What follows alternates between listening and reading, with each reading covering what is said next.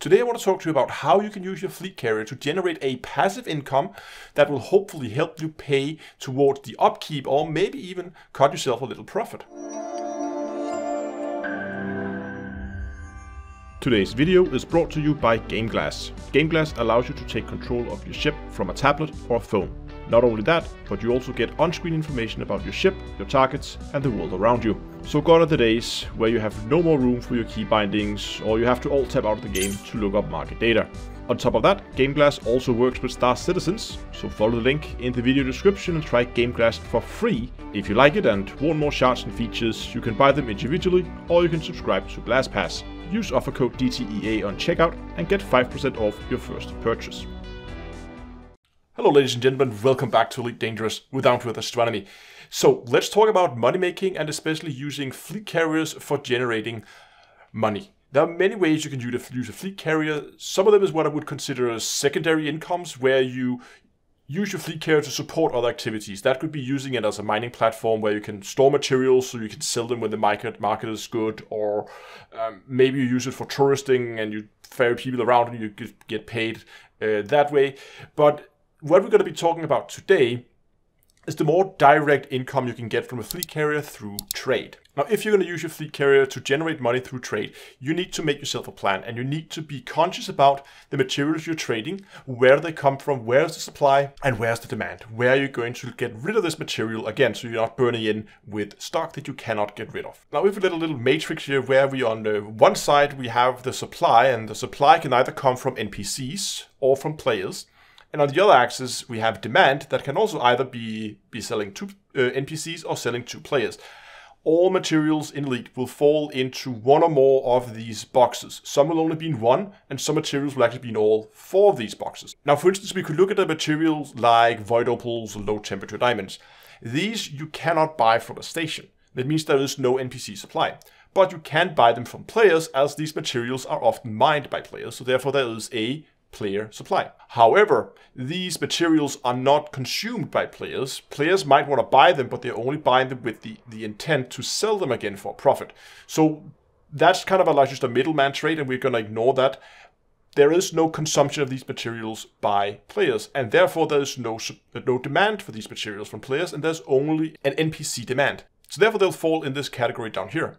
If you look at other materials like gold and silver, for instance, while these can also be mined, yes, they are very rarely mined by players because they are relatively low value compared to other materials. Therefore, the supply that you get from players is going to be negligible. However, these materials can be bought off stations. And in similar fashion as with uh, with low temps and void opals, these are not really consumed gold. Yeah, the Modern Engineers does need a little bit of gold in order to unlock that people often buy. So technically there is a player demand, but it's again, it's a very small demand. So I'm in, in large sections, I'm going to ignore that here. But there is of course an NPC demand. You can sell gold and silver to stations. So that means that gold, silver will fall into this box here. And then you have a material like tritium, which is quite special because it's one of the very few materials where there is a significant player demand for it. Of course, because people use it in fuel as their fleet carrier, so it is consumed by fleet carriers. You can also sell to a station, so there's also an NPC demand.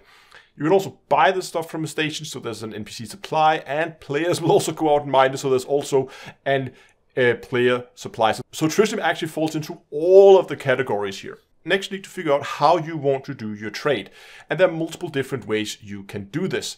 There are, as I see two different base types of trade that you can do in terms of trade tactics, at least. There is either a distance trade or there is a time trade. A distance trade is where you are planning to flip the materials quickly. So you might buy a small quantity now, get it in as quickly as you can, move the fleet carrier to another station and offload it at that station where you spot a gap in the market where you can buy stuff cheap and sell it high someplace else. That was I would consider a, a distance trade. A time trade is where you have a more deeper understanding of the market. You know what kind of prices will this material go up to and when is the market low. And when the market is low, you buy stuff in, then you sit on the material, you wait for the market to come back up. When the market comes back up, you offload it again at a station with a uh, with a higher price. Now, of course, when you are getting materials on and off your carrier, you could do it yourself. But ferrying thousands and thousands of tons of materials on and off fleet carriers is not really a passive income, which is what we're looking for today. The downside is then you need to pay for someone else, someone else to do it for you. The way you can do this is take your fleet carrier and park it right next to a station where something is being sold at a low price. You then set up a buy order on your fleet carrier at a higher price, and thereby you encourage players to go to that station, buy the material, fly it out to your fleet carrier and sell it, and they get a profit for the trouble of flying back and forth. Similarly, of course, it also means when you find a station that has a high buy price where you can get rid of this material again, you need to pay people to offload it again. So you need to set it for sale on your fleet carrier at a lower price than uh, the station is buying for, so people have an incentive to go to your fleet carrier, buy it, fly it into the station, and offload it. So as you can see here, you are actually cutting significantly into your profit by paying people for the transport. But of course, this would be a very passive way of making money. Now I have one thing I want to ask you before we go and talk about how I would set up trade for passive income. And that is if you would consider to go down and subscribe to the channel. It would really mean a lot to me. Statistics say that two thirds of you watching are not even subscribed. So I would love to get you guys on board if you're interested in more Elite Dangerous videos and guides. So what I recommend you do if you want to make some passive income is, first of all, you need to have an understanding of mining because we are going to be supporting the miners, all the miners that doesn't own a fleet carrier.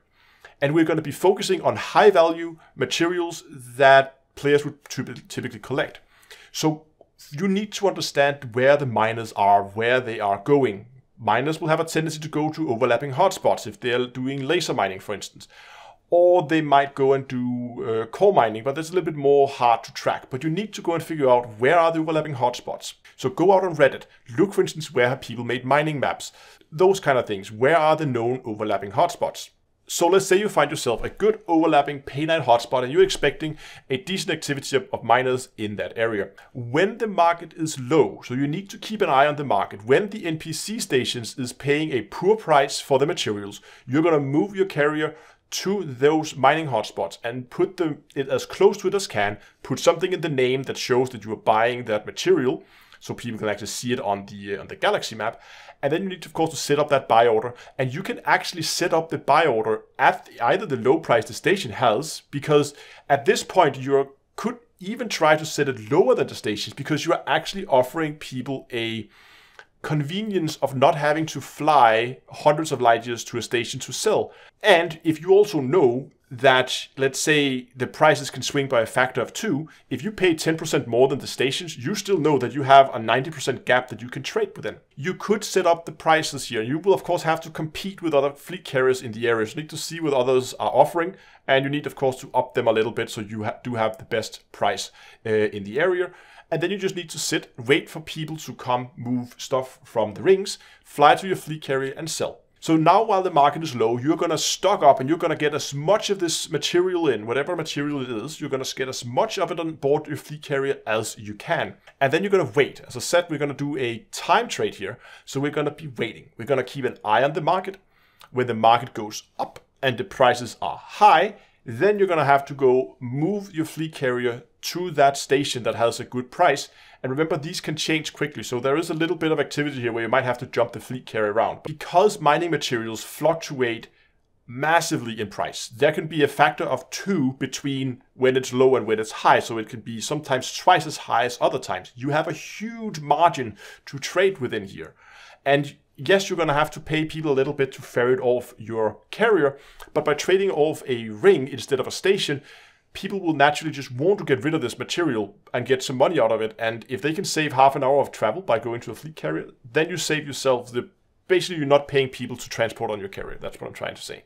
And again, all this can be handled remotely. You don't necessarily have to be on the carrier almost because in order for people to actually know that the carrier is, is there, you need to make sure that it gets listed in the Elite Dangerous Market Network. This is the data network that is supporting all the third-party tools like Inara, EDDB. If you go to any Elite Dangerous related website and it has market prices that are live updated, then it is connecting to the Elite Dangerous Market Network.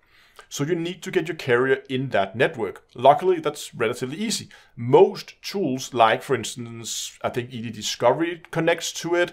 Uh, you have the ED Market Connector. A lot of these third-party tools you install locally, they will connect to this network and they will supply data for it.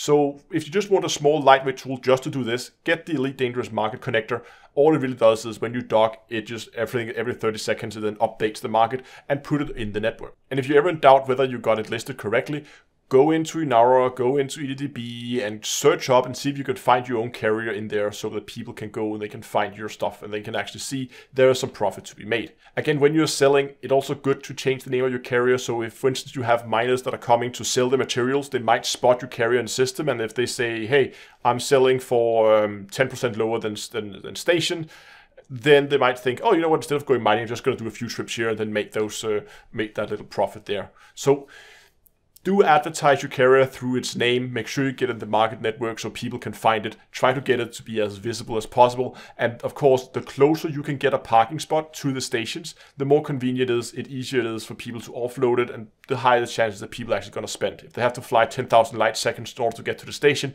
it might not be as good of a deal, and you might have to lower the prices even further to entice people to come out and help you offload. But that's be it for today. Thanks a lot for watching, and until next time, I will see you guys in space.